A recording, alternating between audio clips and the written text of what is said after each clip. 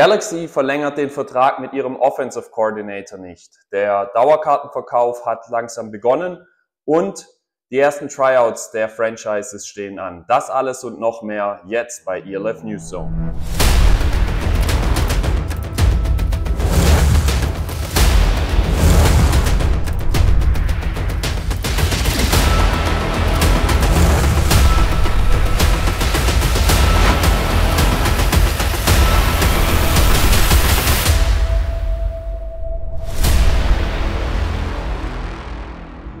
Guten Morgen, liebe Freunde des europäischen Rasenschachs. Es ist Freitagmorgen und Zeit für die ELF News Zone.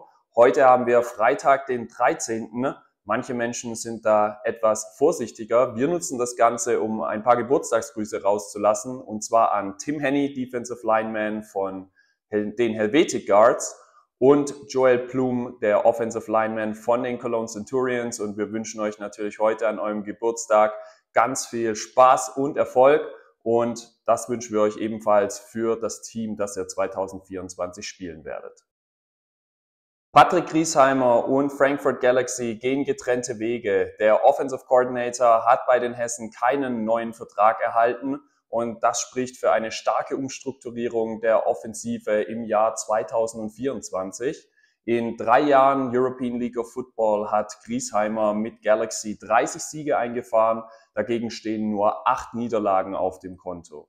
Coach Kösling, der seit 2019 mit Griesheimer zusammen coachte, wird diesen schmerzlich vermissen, sagt aber, dass diese Umstrukturierung notwendig ist. Und auf anderen Positionen muss er sich auch nach neuen Leuten umschauen, denn sowohl Sportdirektor Andreas Renner, Offensive Lineman Tim Hirsch, Sven Rieger und auch Sebastian Silva Gomez haben ja ihre Karriere beendet. Also ganz schön große Lücken, die der Head Coach der Frankfurter hier zu stopfen hat.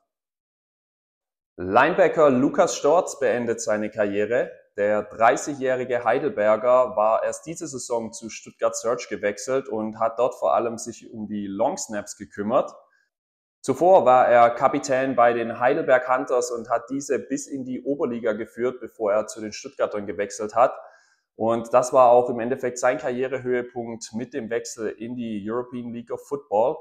Und jetzt kann er sich getrost zurücklehnen. Er wird nach Texas reisen, um dort bei seiner Freundin zu wohnen. Und da wird er dem Football sicherlich verbunden bleiben, denn wir wissen, Football in Texas ist gefühlt alles. Auch im Roster der Munich Ravens gibt es ordentlich Aderlass. Gleich fünf Spieler haben bekannt gegeben, dass sie ihre Karriere beenden werden. Offensive Lineman Thomas Heller möchte sich mehr auf seinen Beruf und seine Familie konzentrieren.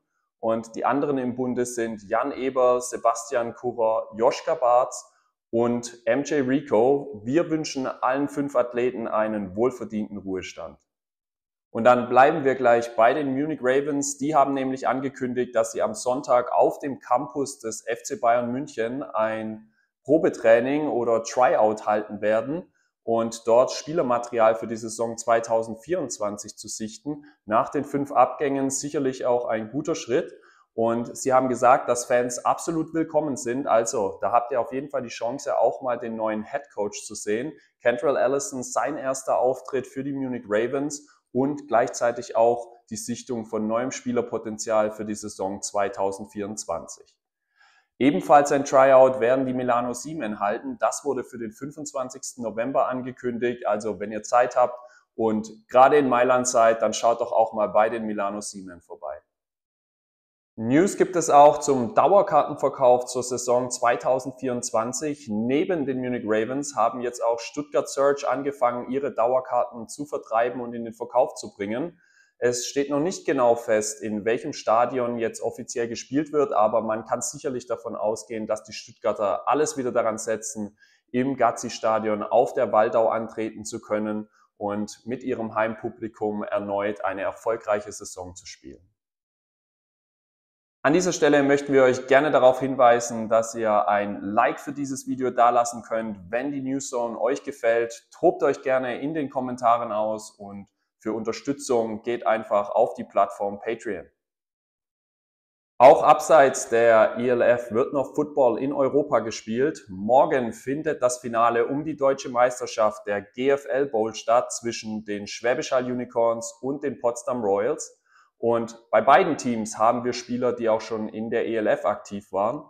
Für die Unicorns ist das Quarterback Ian Gerke, der schon bei Berlin Thunder unter Vertrag stand.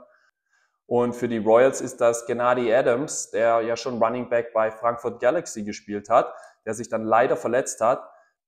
Wer sich dafür interessiert, kann auf jeden Fall den Weg nach Essen machen und dort an der Tageskasse sicherlich noch Tickets ergattern, um das Spiel zu sehen.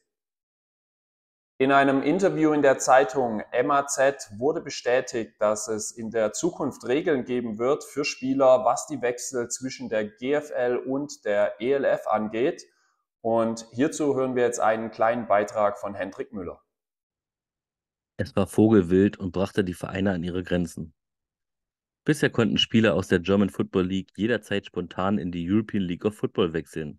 An einem Tag trainierten sie noch in der deutschen Bundesliga, am nächsten Tag spielten sie in der ELF. Doch zukünftig soll es nicht mehr so einfach möglich sein. Es habe wohl Gespräche zwischen der ELF und dem American Football Verband Deutschland gegeben. Beide Seiten sollen sich auf eine Regelung für die Spielerwechsel zwischen den beiden Ligen geeinigt haben. Diese sollen ab der kommenden Saison greifen und den Vereinen Sicherheiten geben. Vorher war das Verfahren vogelwild, so der AVD-Präsident Fuad Medanovic. Künftig muss der abgegebene Verein einen Wechsel hin zu einem Franchise bestätigen. Beide Seiten müssen sich darauf verständigen, dass es passt. Diese Regelungen sollen helfen, dass sich die beiden Ligen annähern und friedlich koexistieren können. Wie genau im Detail diese Regelungen aussehen, haben beide Parteien nicht veröffentlicht. Definitiv ist es aber ein positiver Schritt in die richtige Richtung.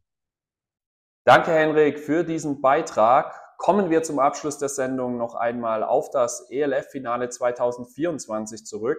Die Offiziellen haben bestätigt, dass es schon über 10.000 Ticketverkäufe gegeben hat für das Finale in der Weltins Arena.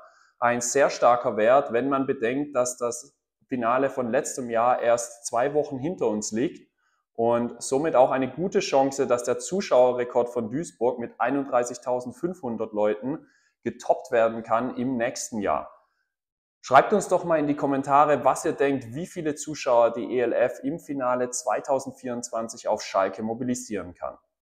Das war's für diese Woche von ELF News Zone. Wir hoffen, ihr seid gut informiert und danke fürs Einschalten. Wenn euch die Sendung gefallen hat, dann lasst doch einen Daumen hoch und ein Abo da. Falls ihr uns unterstützen wollt, dann geht auf den Link bei Patreon, der ist in der Videobeschreibung. Wir wünschen euch ein wunderschönes Footballwochenende entweder mit dem GFL Bowl morgen oder auch den Tryouts in München und natürlich am Sonntag mit NFL. Und wir melden uns nächsten Freitag wieder mit ELF News.